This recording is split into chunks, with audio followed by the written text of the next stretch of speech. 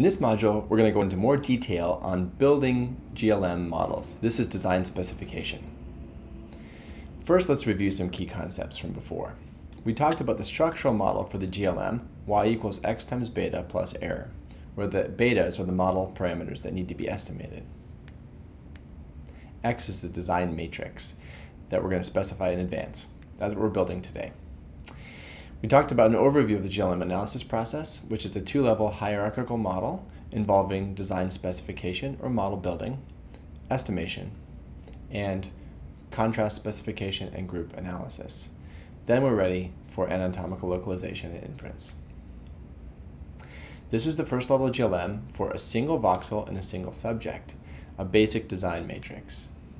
What we care about here is the activation parameter estimate, or the beta, for the task regressor in a very simple design.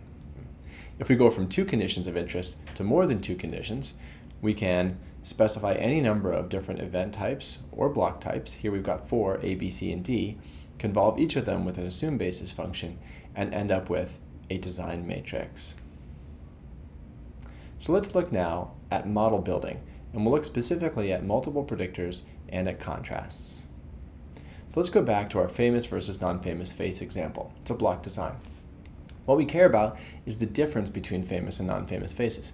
This is a contrast across those two conditions. With a block design, one can use a single regressor that captures that difference and just build it into a model. That's what we saw previously. But what happens if we have an event-related design? We have to model each event type separately in the GLM. Now we end up with the design matrix that has one regressor for famous and one regressor for non-famous faces.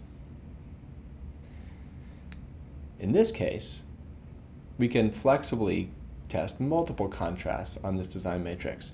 So we can assess the difference uh, between famous and non-famous faces. We can assess each one separately, or we can assess their average. These functions are specified by different linear contrasts across those parameter estimates, or betas.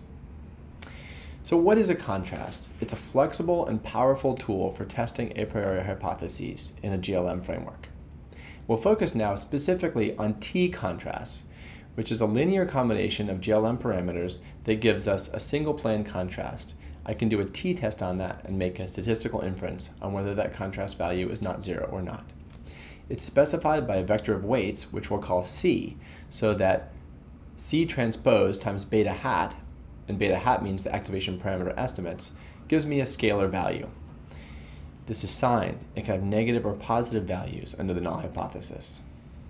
So let's apply that to our famous and non-famous face example here. So I've got two parameter estimates that I'm interested in, beta 1 for famous, beta 2 for non-famous. I can specify a difference contrast, which is 0 for the intercept, 1 for the famous, and negative 1 for the non-famous faces.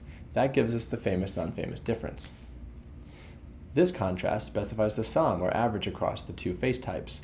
So this essentially gives me face versus rest.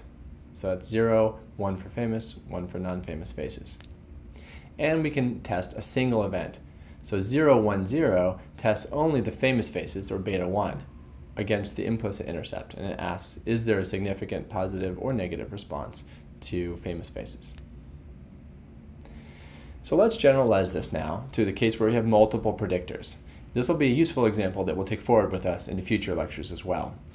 So here I've got a design with four conditions. And let's just say this is a memory experiment. So I've got four word types, A, B, C, and D, and they're grouped into two factors. Factor one we'll call modality, or visual versus auditory presentation. So there are two levels of that factor. Factor two is high versus low imageability. It turns out words that are imageable are easier to remember. So there's two levels of imageability in our example. And this is an example of a factorial repeated measures ANOVA design, to go back to the earlier lecture.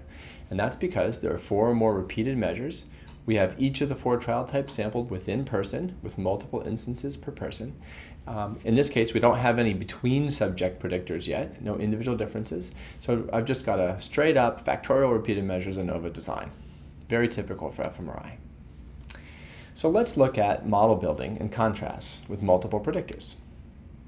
We'll specify our indicator function for four different types of onsets, convolve it with the basis function, the assumed HRF. Uh, then we get the design matrix. So this is exactly the case that we saw previously. And in general, if you're modeling any kind of factorial design uh, in fMRI, you can simply create one regressor or one event type per cell. Now let's look, use this to look at contrast. so these are my four columns of my design matrix, and now I'm going to apply contrast weights across those four columns. I can apply the contrast 1, 1, negative 1, negative 1, which means I'm taking a linear combination that equals the parameter estimate for column A plus B minus C plus D. And you can see this graphically here down below. This is a main effect of factor one, or visual versus auditory presentation. Let's look at some rules for T-contrast now, and this can help us elaborate our understanding of contrast. So first of all, C can be a matrix. It doesn't have to be one contrast value, it can be several. And if C is arranged in columns so that each column is a contrast vector, those columns are applied independently, so they don't affect one another. So each is really a separate test uh, of a separate effect on the data. So let's look at this contrast matrix. It's got three columns, and this contrast matrix corresponds to the main effects in interaction, or the standard ANOVA contrasts. So let's look at those three columns a little bit more carefully. The first column is 0.5, 0.5, negative 0.5, negative 0.5. So this reflects the main effect of factor 1. So I've got positive weights on A and B, negative weights on C and D. The second column reflects the main effect of factor 2. Now I've got positive weights on A and C, negative weights on B and D. And finally, the third column reflects the interaction which is what I get when I multiply the contrast weights for those two columns together to create the third column. And now this column essentially captures the crossover interaction.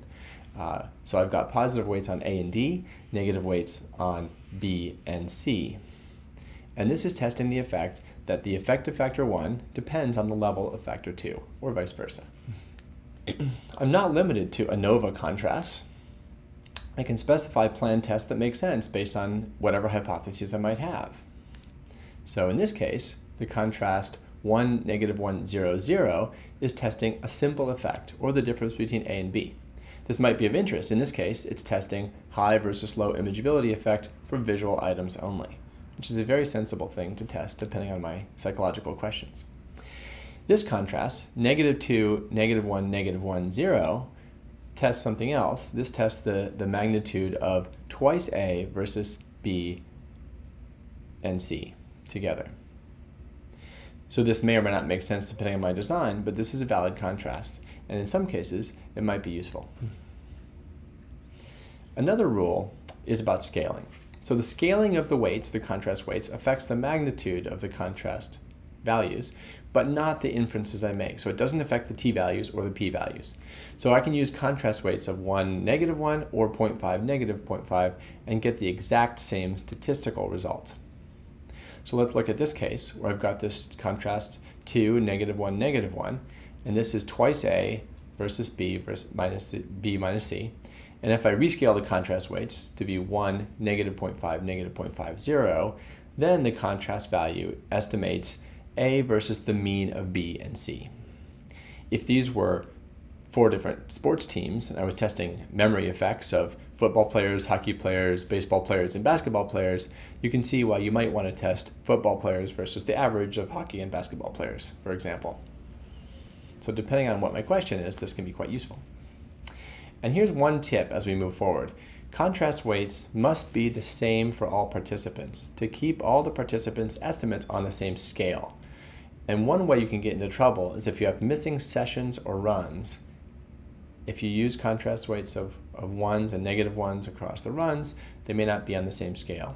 We'll hear more about that in the second course. Another rule for T-contrast is that the contrast weights typically sum to zero. And this makes it so the expected value of the contrast under the null hypothesis is zero. And that permits us to do a t-test where zero is the null hypothesis value. So it's very natural. Let's consider a contrast C across four conditions. Here's a valid contrast, negative 2, negative 1, negative 1. The contrast weights sum to 0. this contrast is not valid contrast is negative 2, negative 1, 0, 0. This tests 2 times A minus B. But even if the beta values are random, I'm going to get some non-zero value for the contrast estimate. And that means I'm not sure what the null hypothesis value should be for a t-test.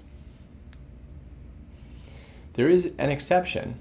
So the exception is that I can test the average of one or more conditions against the implicit baseline. So if I test the contrast 1, 0, 0, 0, then that contrast value is testing the significance of the beta value for condition A only. So essentially whether the response to A is, is different than 0. The contrast 1, 1, 0, 0 tests the sum or the average beta for A and B. In our example, this would be uh, for all the visually presented events, for example. One final note before we move forward. We looked at model building for multiple predictors. Looks like this. And let's just very quickly remind ourselves that there are a number of assumptions that we have to make. To build this model, I have to assume that the neural activity function is correct, little sticks or blocks. We have to assume that the HRF is correct, and we have to assume a linear time invariant system. These three assumptions together allow me to construct the design matrix. All of these assumptions are wrong to some degree. Um, some models, all models are wrong, but some are useful, as the statistician George Box once said. Uh, and we'll look at how to relax some of these assumptions in certain ways in later lectures. That's the end of this module. Thanks. Mm.